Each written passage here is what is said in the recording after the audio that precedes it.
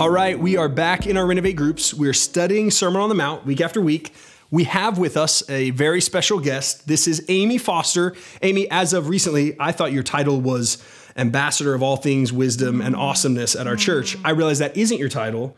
What do you do at Christ Chapel? I'm the director of women's ministry for the Fort Worth campus. Gotcha. Basically the same thing. Your role is speaking wisdom into people's lives. You've been on staff now for how long? Almost nine years. Awesome. Amy loves the Lord. Amy loves God's word. Uh, our people are going through Sermon on the Mount. You've studied this. You've probably taught this before. What have you seen in the Sermon on the Mount that sticks out to you that you love about it? Yeah, I think the most beautiful thing about the Sermon on the Mount, you know, I, I grew up with this idea that Jesus came to forgive us for our sins and take us to heaven when we die. And in the Sermon on the Mount, we see a more present day reality. We see the idea of no, Jesus came to give us the kingdom of God right yeah. now. Yeah. Um, it's going to be beautiful one day, but we experience it right now. We have a king, we're his subjects, we're living under his reign and his rule. And for me, that just gives me purpose and hope and meaning for how I live today. And I think that's really important. I love that. You talked about you know, the idea idea that we see in Sermon on the Mount of counterfeits versus authentic. Yeah. Walk us through that. Yeah, I think you see Jesus as a master teacher in this, really, and he's using a great teaching tool. And the first time I ever experienced a teaching like this, I was a kid. We had a friend who was a Secret Service agent. And every now and then he would pull out a dollar bill and show it to all the kids, and he would tell us it was counterfeit.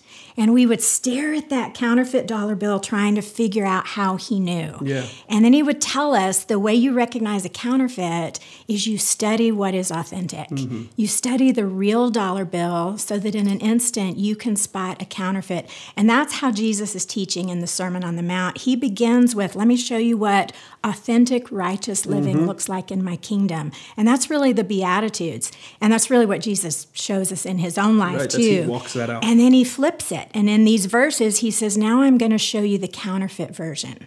So he's really taking them through the things that they see that look like real righteousness. That's good. But they're not. That's good. I hope that's helpful for you guys in your groups that you're you're seeing the first part of the Sermon on the Mount really was here's the authentic, and now you're in the sections that is the counterfeit. So tonight the groups are going to be studying chapter five, verses 33 through 37, and really digging into that what would you how would you caution what would you um, what would you tell them to, to be looking for as they're studying these verses tonight? Sure. First i'd say i think these verses are kind of tricky. Yeah. So that was interesting that you yeah. chose these. Yeah. Um, but I, I think there's a real key if you'll pay attention to the prepositions. Look at the grammar in this. And prepositions are we all know what they are. Okay we're going back to grammar yes. school here. Prepositions are those little words like to for, by, and they're always followed by a noun. And here's the reason you want to watch these. These verses are talking about making an oath to God